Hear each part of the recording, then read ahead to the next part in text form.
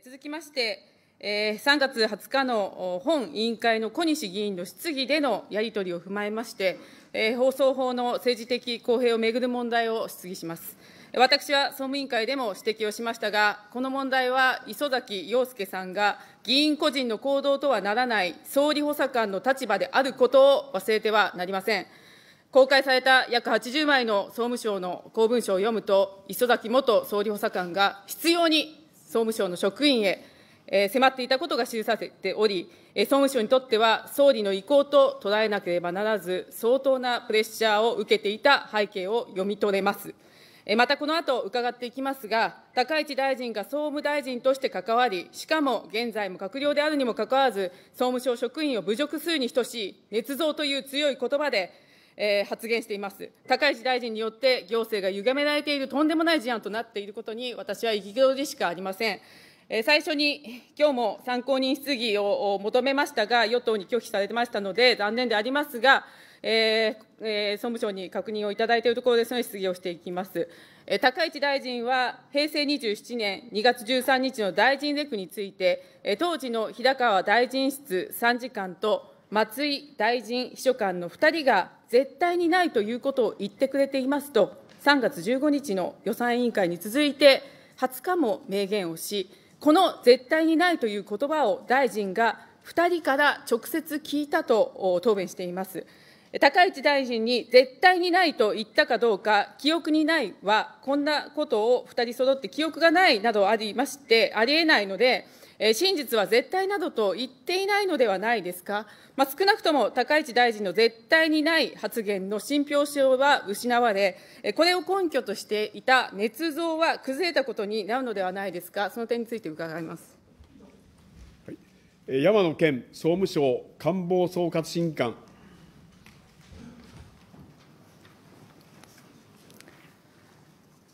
お答え申し上げます。え、本日の理事懇談会でもご報告させていただいているとおり、両名に聞き取りを行った結果、この時期には NHK 予算など放送に関するレクがあったとしてもおかしくないが、個々のレクについては覚えていない。放送法の政治的公平の答弁に関しては、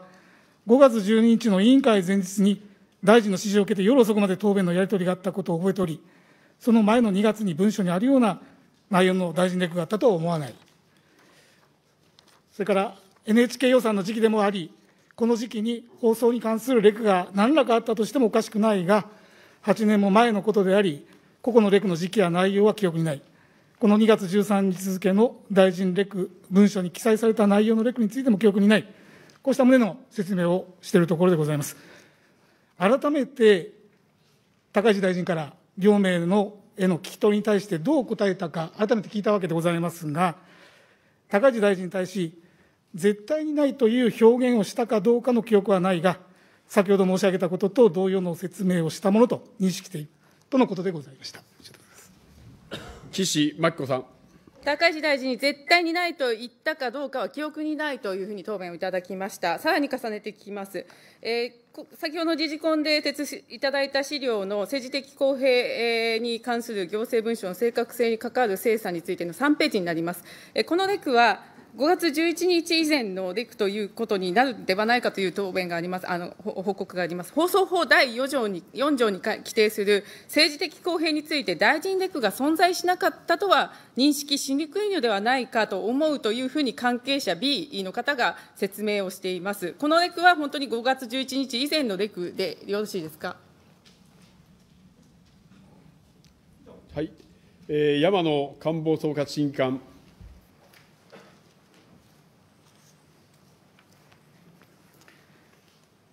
お答え申し上げます。えー、平成27年の2月13日付の高市大臣で結果とされる文書でについてでございますけれども、えー、私どもが聞き取りを行った結果ですね、8年前でもあり、約8年前でもあり、詳細についての記憶は定かでないが、日頃確実な仕事を心がけているので、上司の関与を経た文書が残っているのであれば、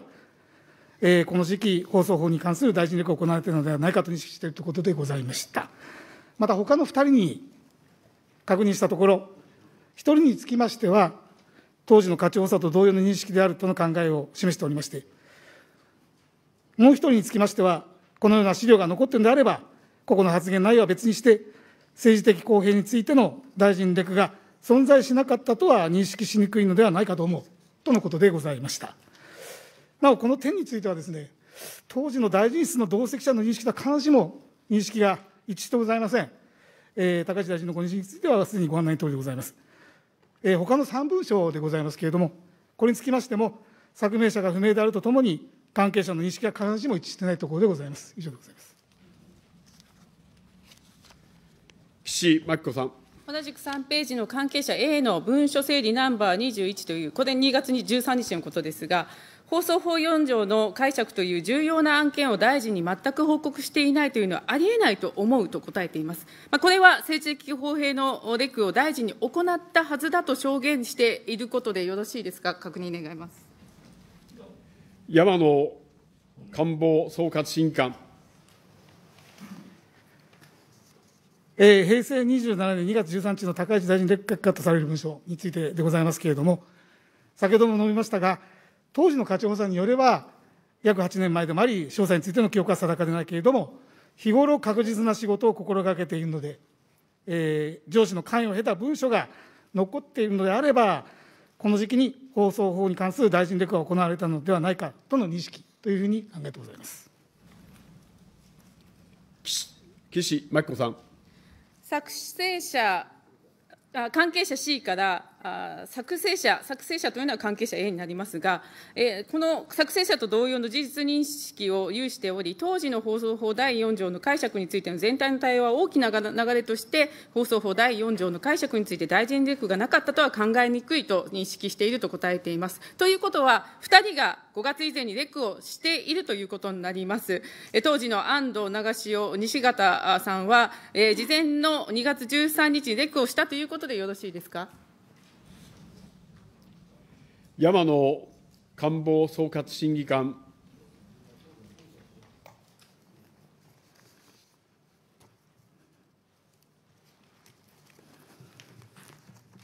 これも繰り返しになりますが、この文書につきまして、当該課長補佐によれば、先ほど申しました8年前でもあり、詳細についての記憶は定かでないけれども、日頃確実な仕事を心がけているので、まあ、上司の関与を経た文書が残っているのであれば、この時期に放送法に関する大臣力が行われたのではないかと認識しているということでございます。また、他の2人でございますけれども、これにつきましても、お一方については、当時の課長さと同様の認識であると考えてございますし、まあ、もう一人につきましても、このような資料が残っているのであれば、個々の発言内容は別として、政治的公平についての大臣力が存在しなかったとは認識しにくいのではないかと思うと、こういう考えでございます。岸真紀子さん。あの先日の委員会質疑の講談で、小西議員が高市大臣に聞いたことを再度伺います。高市大臣は、かつての部下である官僚が文書を捏造したというのであれば、その官僚の皆さんが刑法犯罪を犯し、かつ国家公務員法違反をしたことになりますが、それでも高市大臣は捏造されたとおっしゃるのですか？高市国務大臣。えー、2月13日付の、えー、大臣レク文書を含む4枚の文書につきまして、ありもしないことをあったかのように作ること、えー、という意味で、えー、私は捏造と発言をいたしました。あのまあ、総務省も本日示された報告にて認められているとおり、この文書の正確性は確認できなかったということで、まあ、やはり、えー、あの不正確な文書であるという私の考え方は、えー、変わりません、まあ、あくまでも表現の仕方であると思っております岸真紀子さん大臣だけが正確性じゃないって言ってるだけで、先ほどの答弁を聞いてると、あのあったって言ってますよ。次に松野官房長官にお伺いしますが、高市大臣の捏造発言は、職員に対する名誉毀損、侮辱行為ではありませんか？松野内閣官房長官。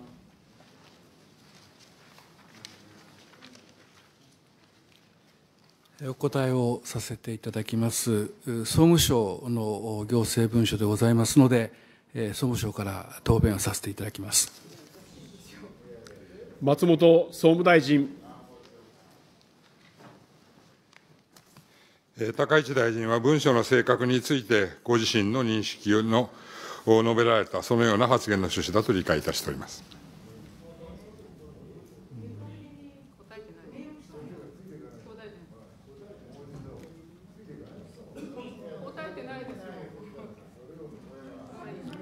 岸真紀子さん。では、松本大臣、違う視点で聞きます。現在、総務省行政を所管し、公文書を扱う担当大臣として、既読と記憶、しかも8年前のことです。どちらが正確性があるとお考えですか？松本総務大臣。えーまあ、行政文書をはじめ公文書には正確性を期することが望まれるというのは、あ私もそのように考えるところでありますが、えー今回、本件文書について、えー正確性が確認できなかったことは、えー甚だ遺憾に思っております。えー文書の正確性が確認できておりませんので、えー文書と記憶を比較するということも、えー必ずしもできないかというふうに思いますが、えーいずれも優秀な役所の人たちのお記憶が関係者に聞いても一致をしないということでございますので、えその記憶発言を私どもとしてはあ聞き取って、えー国会にご報告をするのが役目と考え、えー聞き取ったことをそのままお伝え申し上げておるところでございます。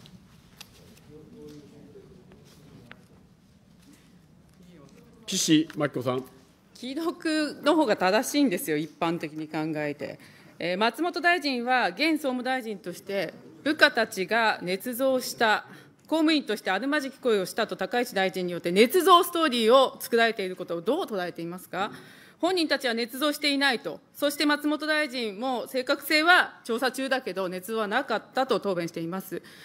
しかし、ご承知でしょうか、一部の SNS 上では、総務省職員を名指しで捏造した人とフェイクが拡散されているんです。無実の罪を高市大臣に着せられてしまっているんです。これをどう捉えていますか？松本総務大臣。えー高市大臣のご発言については、先ほど申しましたように、この文書について、高市大臣の認識と異なるということから、そのようなご指針の発言をされたと理解をいたしております。私も総務省のお預かりをする大臣として、総務省の職員は、少なくとも私が今見る限りよく仕事をしてくれているというふうに思いますし、これまでもそのようにしてきてくれていたものというふうに考えているところでございますが、今回、この国会でご議論に付されている行政文書については、えー正確性が確認できなかったことは、甚だ遺憾であると申し上げてきたところで、えーございます。あの私どもとしても、今後もしっかり努めてえーまいりたいと考えております。岸真紀子さん。先ほどの答弁でですね、高市大臣に絶対にないと言ったかどうか記憶にないというふうに大臣室長室の方のお答弁はあります。で、本日いただいた文書にも、おレクについても記憶にないというふうには書いてあるものの、2人とも絶対にないと答弁したことはないと言ってるんですね。保身のために嘘をついたということですか、大臣、高市大臣。高市国務大臣。あのえっと、総務省からの報告を見ましたけれども、あの5月12日の委員会前日に、えーそえー大臣の指示を受けて、夜遅くまで答弁のやり取りがあったことを覚えており、その前の2月に文書にあるような内容の大臣レクがあったとは思わない、えまた、そのレク文書に記載された内容、えのレクについても記憶にない、え私に対してですね、絶対にないという表現をしたかどうかの記憶はないが、えー上記と同様の説明をしたものと認識しているとあのいうことで、えございます。あのまあ、私はあの今回ですねあのこの文書が、えーマスコミ等に公表されたのは3月2日だと記憶をいたしておりますが、あのその後ですね、えーあの当時の大臣室の職員に、えー要はそのレクの相手方とあのされている方々、まあ、3名は情報流通行政局の方でございます。で、まあ、私も含めて3名が大臣室から出席をいたしておりました。で、まあ、少しあの文書を見て驚きまして、えーまあ、当時の職員にこの文書に記載されている内容に記憶があるかとあのいうことで尋ねましたら、あのやはり先ほど申し上げたような答えがございました、まあ、その前の2月の時点でこの件で、あの2月にこの件で雷神レクがあったとは思わないということで、まあ、その内容についても記憶がないということでもございまして、私の記憶と合わせてですね、私自身の認識として、文書にあるような内容のレクややり取りはなかったと、えー、確信をいたしました。で、合わせて、あの磯崎元補佐官というあのがですね、放送法にご興味をお持ちということも、3月に文書を公開されて初めて知りましたので、あの合わせて磯崎元補佐官から大臣室に連絡があったことがあるかについても確認したら、まあ、一度もないということでございました。まあ、そそもそもこの当該、えー、文書、2月13日15時45分から16時の大臣レク結果とされるメモについてですね、あの仮に磯崎補佐官からの伝言を伺い、そしてまあ4枚、えー、添付資料が、えー、公開文書についておりましたが、それらのあの説明を受け、さらに放送法の解釈についてこう、えー、質疑応答したとしたら、まあ、とても15分では収まらないものだと考えております。あの基本的に私はですね、あのまあ、こういった形のあのレクチャーというのは、まあ、絶対にこの時期にはなかったとあの確信をいたしております。静粛にしてください。ただあのひあすみませんあの秘書官に確認した内容は先ほど申し上げた通りでございます。岸真紀子さん。あのですね、今日も報告いただいた通り、2つ大事な観点がありまして、大臣は直接その2人の方に聞いたと言ったんですが、2人から直接聞いてないということが報告で分かりました。それとプラス、絶対にないとは答えてない。2月13日のレクは絶対にないとは答えていないということがあったんです。まあ、これだけですね、いろんなことが出てるのになぜいまだにこれ認めないんですか、見苦しくないですか？松本総務大臣。あの私どもはあ、高市大臣の大臣室の方という話ですが、同席者についてお話を聞いて、高市大臣と連絡を取ったと、しかし、私もそうですが、数日前のことで一問一句まではなかなか覚えてないもんですから、このような趣旨の発言をしたとけれども、どのような表現を取ったかは記憶がないというふうに申しておったので、これをそのまま国会にご答弁をさせていただいたところでございます。岸真紀子さん。あの松本大臣、いい加減高市大臣、かばうのやめませんか、松本大臣がやるべきことは、この事案で言えば、公文書として経過を残して保存してきた部下を守るべきではないですか？松本総務大臣。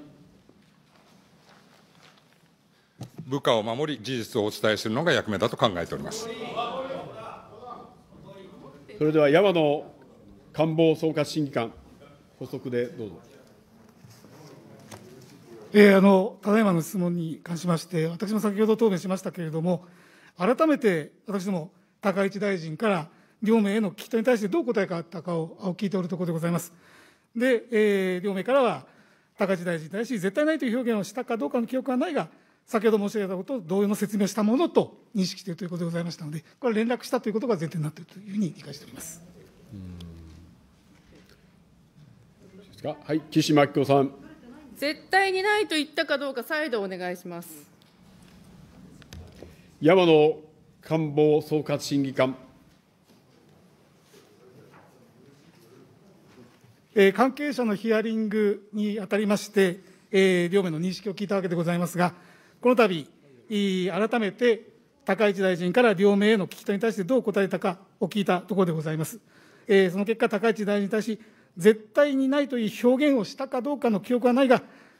先ほど申し上げたことと同様の説明したものと認識しているというの回答でございました。岸真紀子さん。ということは言ってないっていうことなんですね、高市大臣がこれまで答弁してきたけど、高市大臣はこの捏造発言について、誰かを指して答弁をしたことはないとおっしゃいましたが、無責任極まりないと指摘します。先ほども言いましたが、大臣の発言を発端として、SNS で真面目に仕事してきた職員が誹謗中傷を受けている実態にあります。まあ、そういった事態を招いた責任を取って、もう大臣、お辞めになったらどうですか？松本総務大臣。えデジタルを担当しながら、ここのところ SNS を見る時間がなくて拝見をしておりませんけれども、え職員については、ああの健康も精神的なことも含めて十分に留意をして、えー、お話があったように職員を守るべく、しかるべく対応してまいりたいと考えております。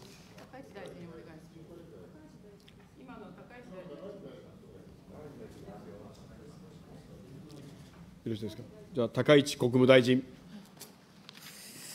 あの私の表現の仕方をもってですね、あのその辞任とあのいうことは、少し、まあ、筋違いなご指摘だと思っております。ま私はあくまでも4枚の文書について、ありもしないことあったことかのように作るということを捏造と申し上げましたし、まあ、総務省でも文書の正確性は確認できなかったということで、まあ、やはり不正確な文書であるという私の認識は変わっておりません。岸真紀子さん。不正確と捏造は全然違うんですよ。強い表現すぎるんですよ。高市大臣の捏造発言は許されるものではありません。また、前回の委員会で発言を撤回したものの、質問権を求めようとするような議会制民主主義を否定する発言まで、えー、総務委員会で発しています。大臣としての資格がありますか？岸田政権の現職である閣僚が日本社会にとって善良なる仕事をしている官僚を自分の保守のためにと思われますが、まるで犯罪者扱いしているような発言をして、かつ感情的な答弁を繰り返し、しまいには答弁拒否と言える質問をしないでください発言をして、まあ、すでに大臣としての資格はないんじゃないですか。閣議で協議をして、内閣として高市大臣を即刻辞職させるべきです。官房長官おか、お答えください。松野内閣官房長官。お答えをさせていただきます。総務省の行政文書に関する説明は松本大臣からあったとおりでございますが、閣僚の任命に関することは、私はお答えする立場にございません。岸真紀子さん。官房長官、あの総理がもうすぐ帰国されますので、今言った通りですね、最後に言ったことがすべてなんですよ。いろんなことが絡んで、今回、予算委員会も振り回してるし、総務省の職員を侮辱してるんですよ。しっかりと辞職を求めるということを申し上げて、次の質問に移ります。